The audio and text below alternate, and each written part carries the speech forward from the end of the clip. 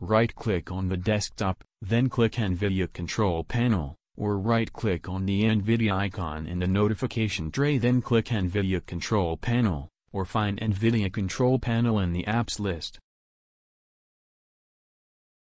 Once you are in the NVIDIA Control Panel, in the left column, under Display, click Adjust Desktop Size and Position and make sure Preform Scaling on is set to GPU rather than Display. Then go to Change Resolution, then click Customize, then make sure Enable Resolutions Not Exposed by the Display is checked, then click Create Custom Resolution. Then type in the width and height of the resolution that you want to set. I am going to set a custom resolution of 3840 by 2400 which is exactly double my native resolution of 1920 by 1200. Then click Test.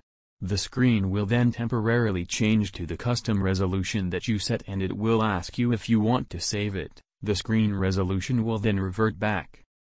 Now if you go into your operating system screen resolution settings, the custom resolution that you created will now be listed as an option that you can select.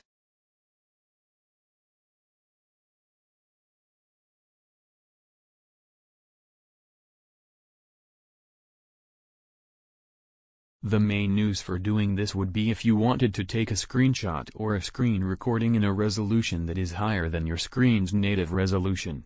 It could also be useful for the extra real estate, However it makes the text hard to read even if you have really good eyesight because there is not enough pixels to display the text properly.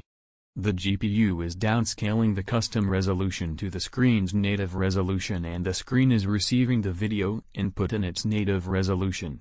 Running the screen at double its native resolution can also be useful for making some old games that don't support anti-aliasing look better if your GPU has enough power to reach your screen's maximum refresh rate at double its native resolution. Here the edges look smoother and less jagged when the game is ran at double the screen's native resolution and downscaled than when the game is ran at the screen's native resolution, even though the screen still has the same number of physical pixels. However, Running this particular game at a higher resolution makes the UI too small and there is no way to enlarge the UI. This makes the UI hard to see, both because it is too small and because there is not enough pixels.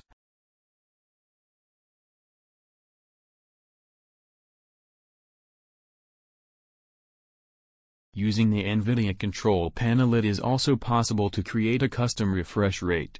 To do this click Customize then create custom resolution, the same way as creating a custom resolution. Then type in a custom refresh rate, I am going to set a custom refresh rate of 50 Hz, then click Test. The screen will then temporarily change to the custom refresh rate that you set and it will ask you if you want to save it, the refresh rate will then revert back. Now if you go into your operating system's refresh rate settings, the custom refresh rate that you created will now be listed as an option that you can select. The monitor is now actually running at 50 Hz. This can be useful for watching PAL video without uneven frame duplication. The minimum refresh rate that it will let me set is 49 Hz. This will vary on different monitors. If I try to set 48 Hz, the monitor won't accept it.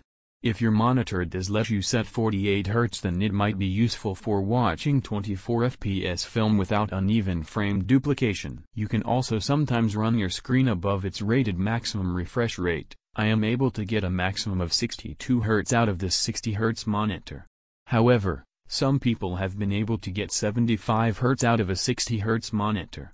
Note that running your screen above its rated maximum refresh rate can cause glitching and could even damage it so do this at your own risk.